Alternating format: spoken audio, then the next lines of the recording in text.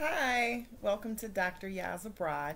This is the first video. I'm still in my home. I'm packing. I would try to show the camera, but it's a hot mess. My lighting's not together, and I know that, but I wanted this to be the first video of me still being in my home, packing, or at least dreading the packing process.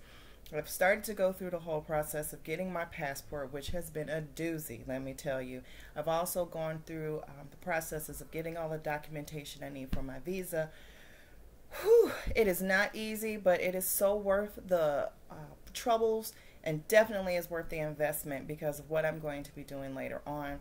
But I'm excited about my travels that I'm going to be doing. I'm starting off in Asia. Um, as far as the first continent, I'll be in China, uh, Beijing, China to be exact, and I will be there for at least a year, um, hoping that I will enjoy myself out in China and I will do another year also out there. My five year plan is to at least see two countries in my five years.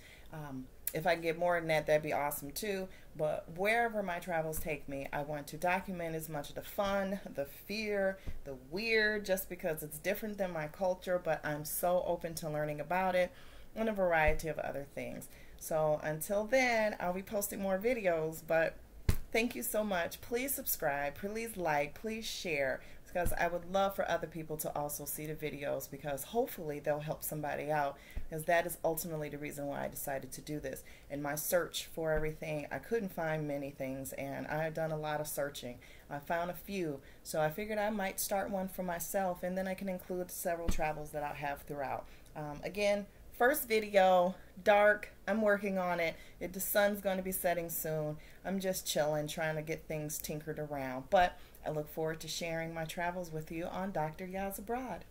Until later, bye.